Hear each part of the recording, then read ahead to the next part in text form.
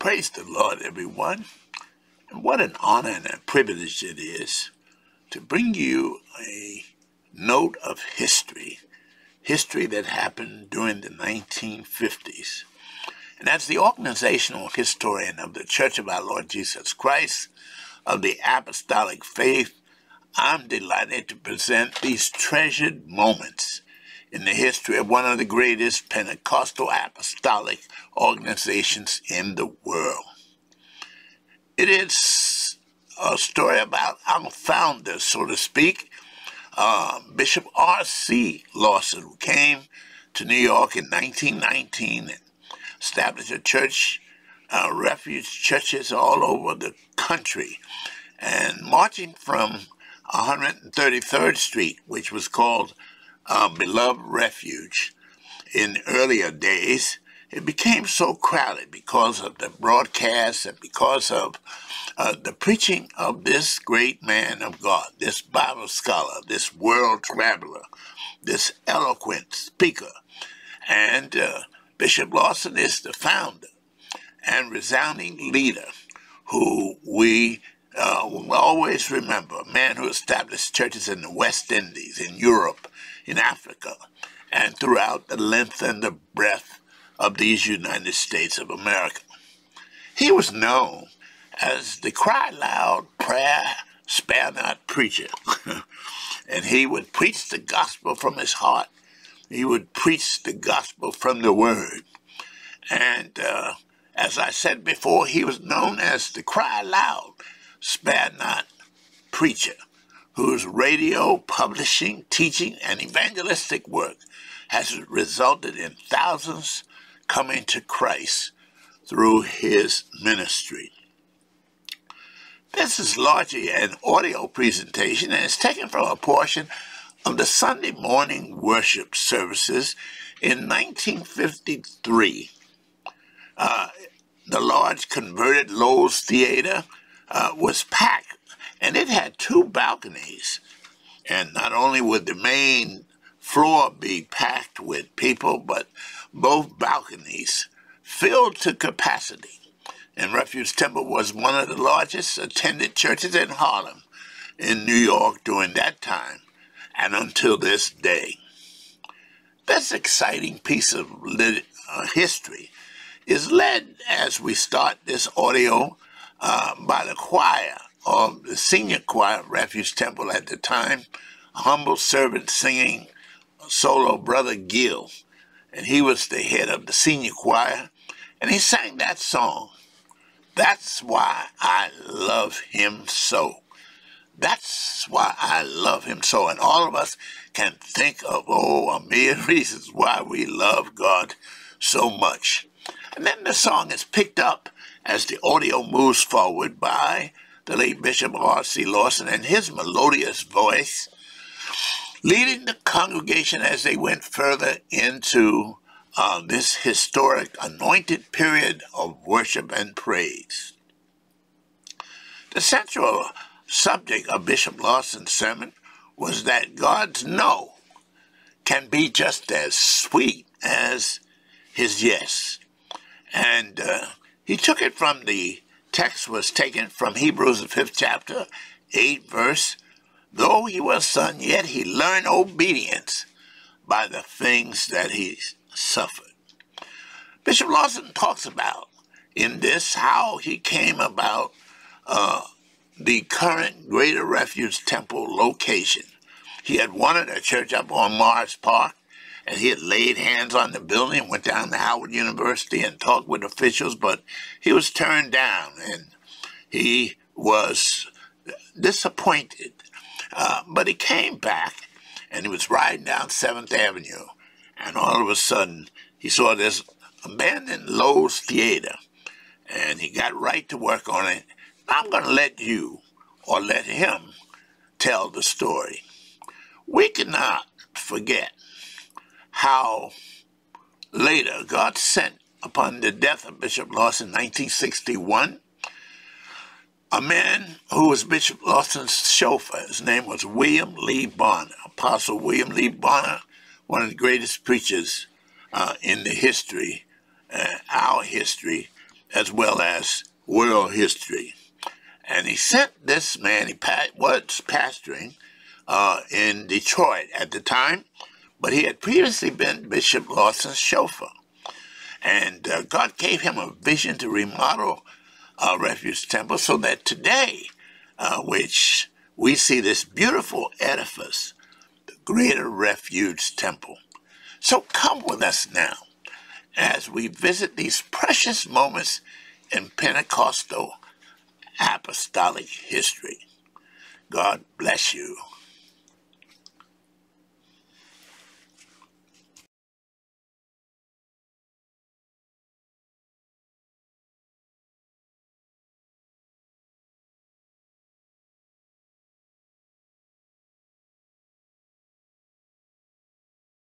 that's why I love him so. And to the children he said, come to me.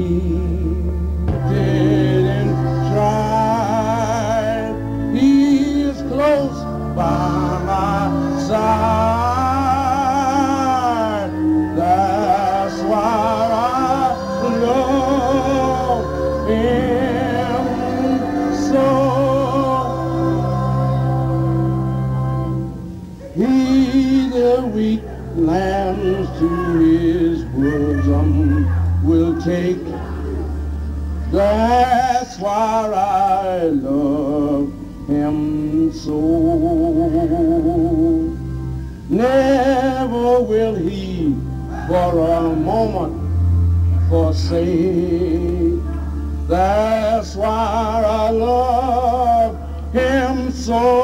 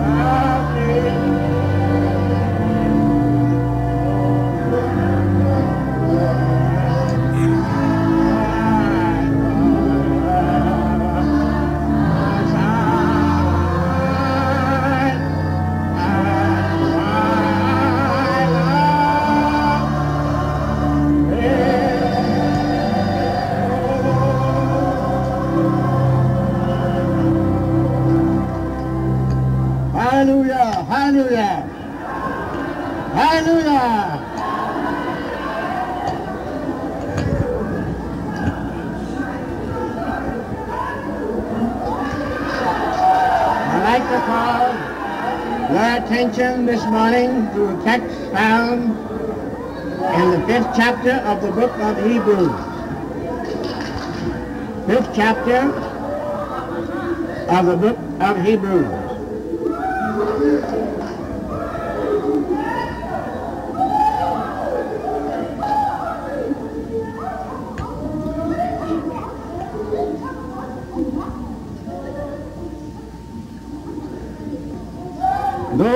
Was a son, yet learned he obedience by the things which he suffered. And being made perfect, he became the author of eternal life unto all them that obey him. Called of God a high priest after the order of Melchizedek, of whom we have many things to say that are and are hard to be uttered, seeing you are dull of hearing. For when uh, for the time you ought to be teachers, you have need that one teach you again, which be the first principles of the oracles of God, and become such as need of milk and not of strong meat. For everyone that is used, uses milk is unskilled in the word of, of righteousness, uh, for he is a babe. But strong meat belongeth to them that are of full age, even those who by reason of the use have their senses exercised, discern both good and evil. Though he was a son, yet learned he obedience to the things that he suffered. These are the words spoken about the Lord Jesus Christ, the Lord of glory, our example and paragon. Uh, uh, uh, is the way, he said himself, and the truth, and the life. And uh, he set the example and norm of all men, for all women too. Eventually, he is the final arbiter in the life of men and women. They shall be judged by him, by his standard and statute.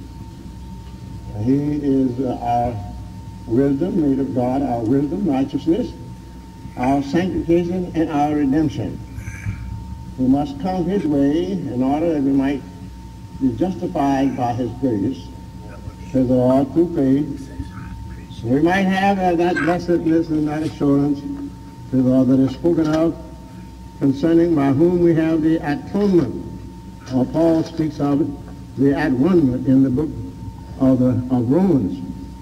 Uh, this Savior of ours gives us uh, uh, that sense of at-one-ment, brings us in reconciliation with God. It says here, for then when we were enemies, we were reconciled to God by the death of his Son, how much more, being reconciled, we shall be saved by his life.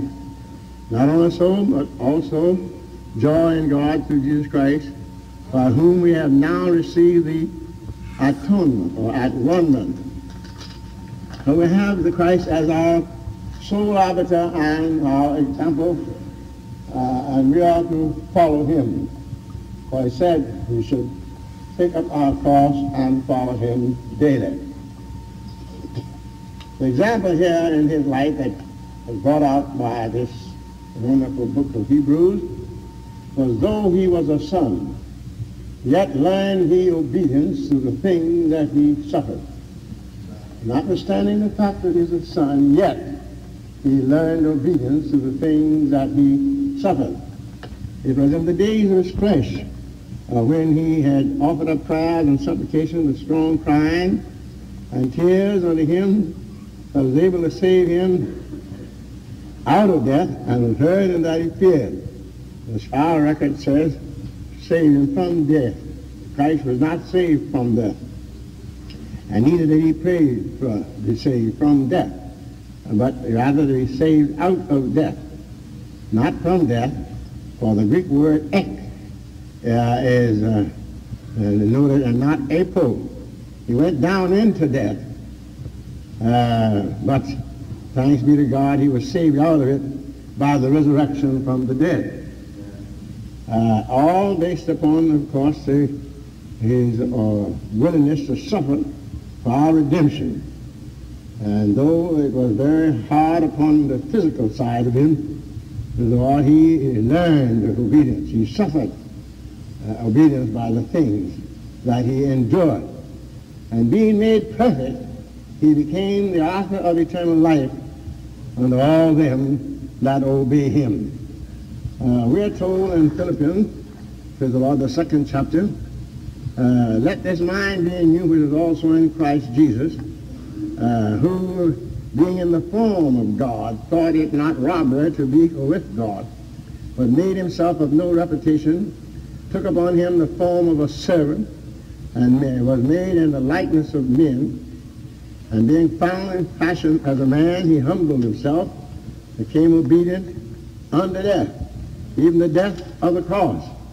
Wherefore God also has highly exalted him, and given him a name which is above every name, that at the name of Jesus every knee should bow uh, in heaven and things in earth and things under the earth, and every tongue should confess that Jesus Christ is Lord to the glory of God the Father. So we have here this adjustment of God from the psychological point of view in the person of Jesus Christ, who is the mystery revealed of the Godhead, for the wit God was in Christ, reconciling the world unto himself. And again, the Bible speaks of him as uh, being the manifestation of God in the flesh, and that without controversy. Great is the mystery of godliness. God is manifest in the flesh, justified in the spirits, seen of angels, believed on by the world and Gentiles, and received up in the glory. Uh, God was manifested in the flesh. Christ is God manifested in the flesh as Son. And he went through all of this psychological and physical uh, trying and uh, excruciating uh, experience uh, from the angle of the flesh to the end that he might, as God know and taste, as it is recorded in the book of Hebrews, that we have not a high priest that cannot be touched with the feeling of our infirmities, but in all points was tempted like as we were, yet without sin. Praise the Lord. Amen. And that having been tested on all points as we are, he had compassionate uh, feeling for us. He, he was compassionate because he had passed through it himself. For we have not a high priest, says the 15th verse of the fourth chapter, uh, which cannot be touched with the feeling of our infirmities, but in all points tempted like as we are, yet without sin. Let us therefore come boldly to the throne of grace, that we may obtain mercy and find grace to help in the time of need. So one of the secrets of his suffering and reason for him allowing it was that he might know the, what we have to go through with by experiencing the like uh, passions and like uh, suffering. Uh, that he, when we come to him, uh, he would not only know it from the standpoint, as it were, of God, but he would know it from the standpoint of experience. You never amount to much as a leader unless you live what you experience. You can't do very much unless you experience what you live. The word affects it when when you live what you experience. And when you live what you're talking about, you can be, the people feel it, feel it, because it comes to them in, in the sense of a, a feeling that uh, you are a comrade as it were. You understand because you have suffered. Like people who go to folks for help, they always try to go to those that are spiritual, those that are understanding, those who have gone through trouble. Amen. That know how to deal with them, know how to talk to them. People who haven't gone through trouble and suffering and temptation and even sin, they don't know how to talk to people as they ought to. They can't talk to the right point. They can't talk uh, to the right uh, uh, end, to the end that the person might realize that though I'm wrong, yet you understand and you sympathize with me, amen, and you have a fellow feeling with me.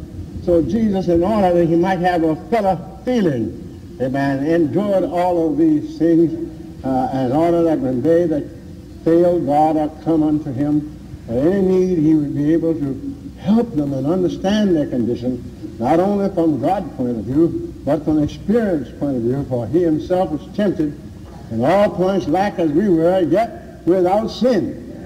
Praise his name forever. And he learned obedience through the thing that he suffered. Uh, we sometimes think we get too big or we too know too much or we're too influential or we're too, oh, I don't know what to say. We feel ourselves too high to obey. Uh, but the Lord, uh, being the Lord of lords and King of kings, set an example. If I, amen, if I, amen, I humble myself, if I, amen, will do this, how much more?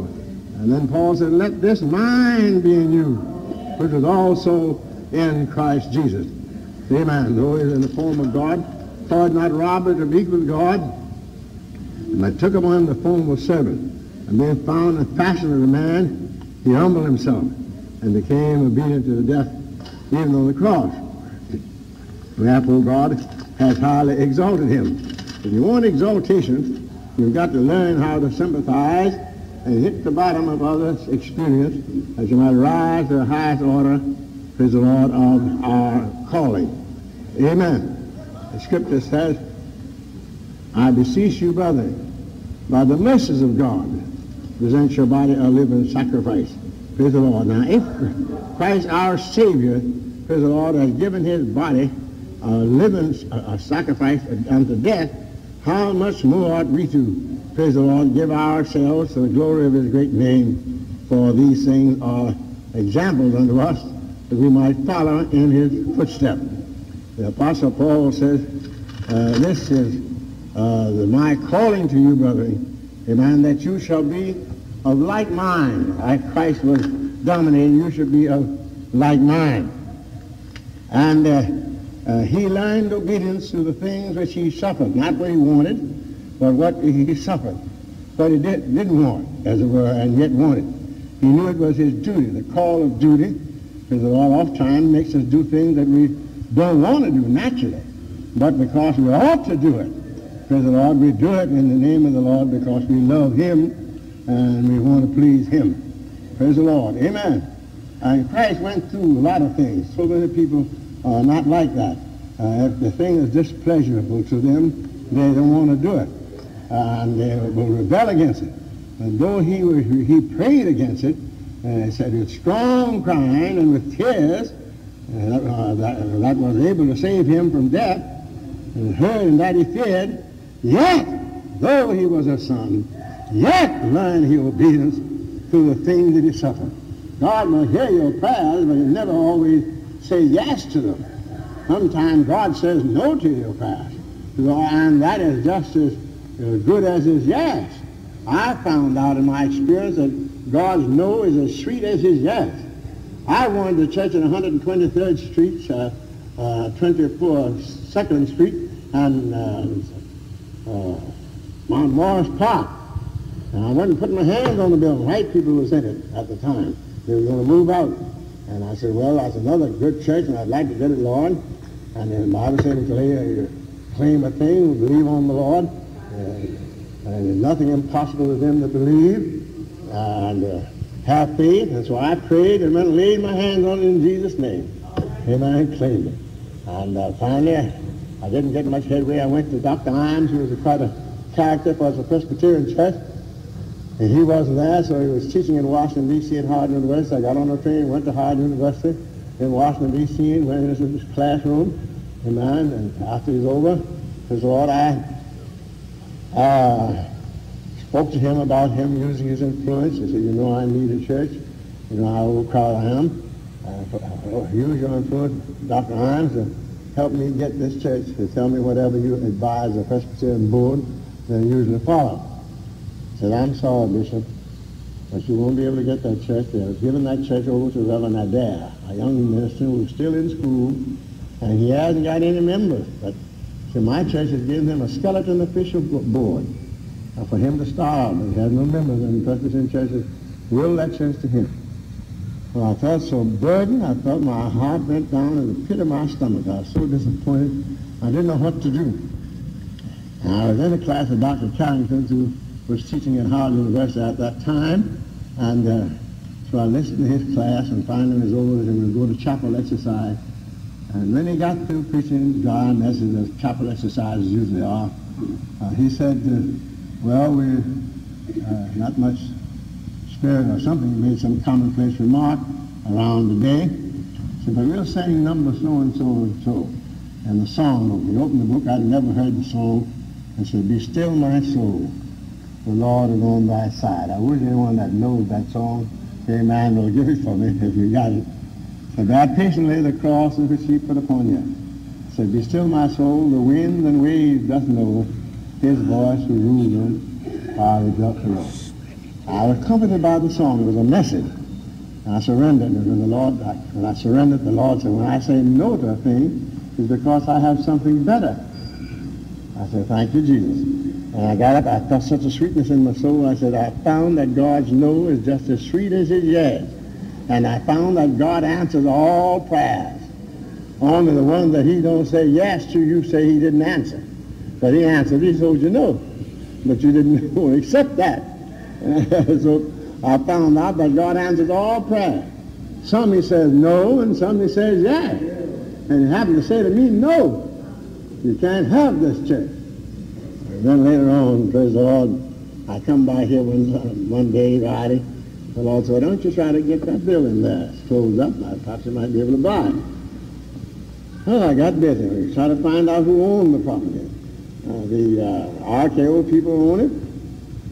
And uh, they were just keeping it closed up, paying the rent, uh, and uh, I mean paying the lease and paying the taxes, uh, just to keep anybody out of here that would open up another theater.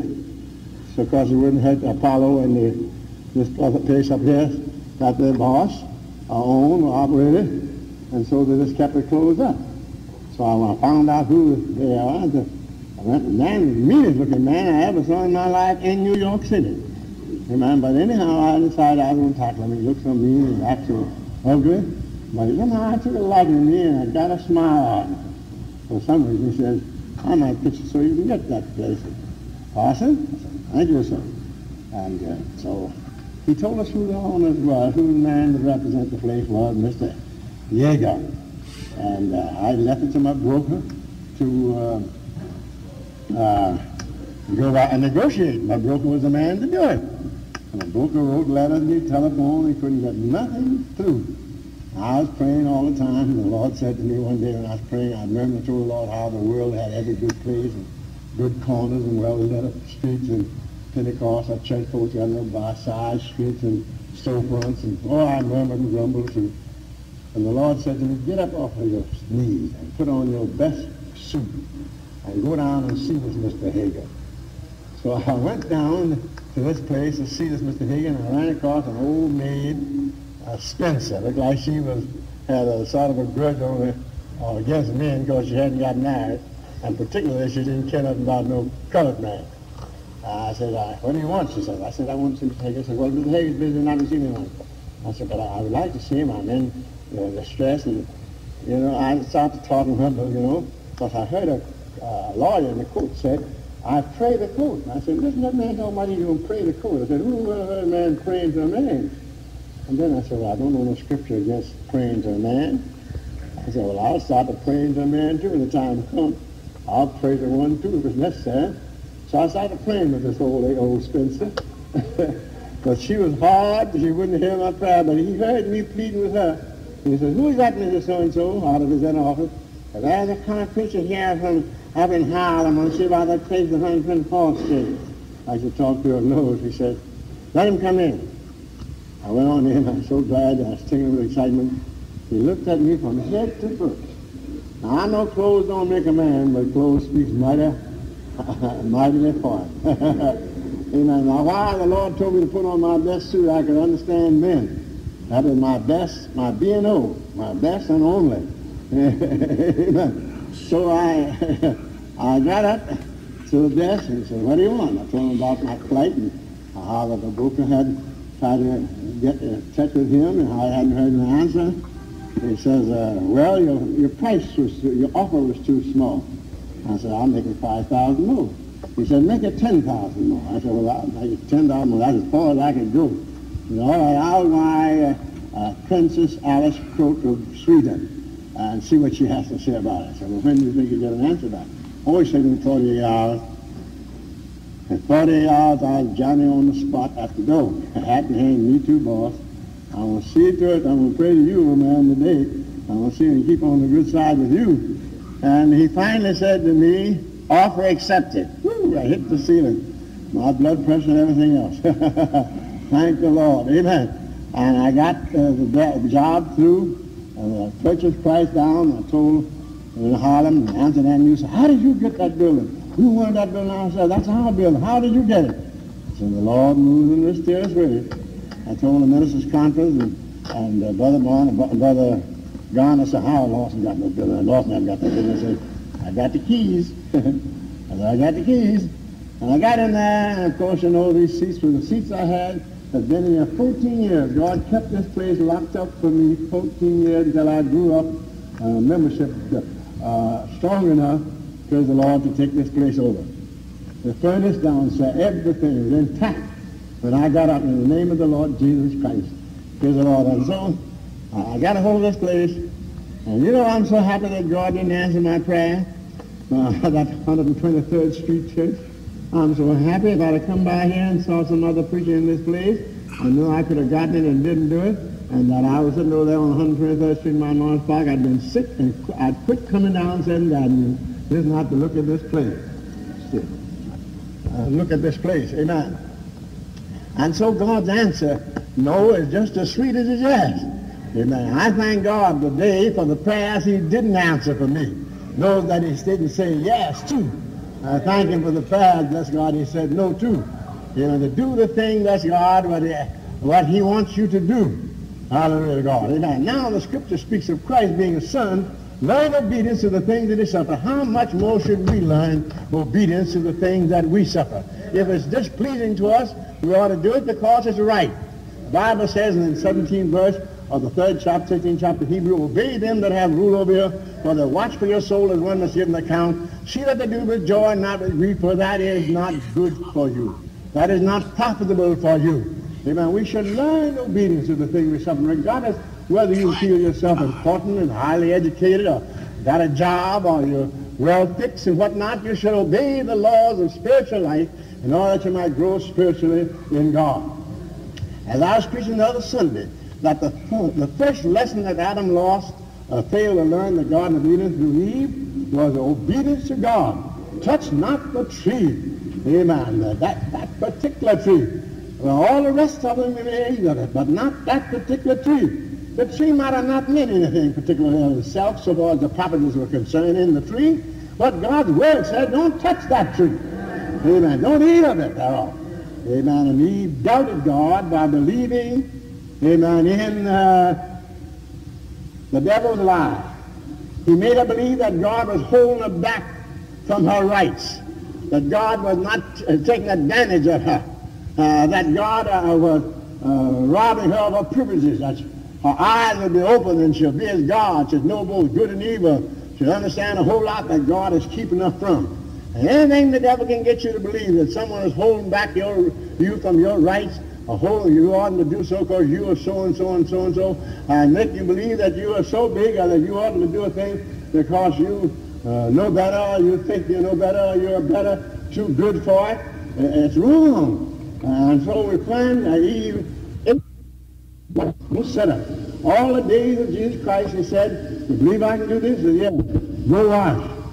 And anointed eyes had and go wash, and the man came seeing. Obedience is the thing, and faith in God is the thing. He that believeth and is baptized shall receive. There's obedience and there's faith. All down the line. That's what you got to learn.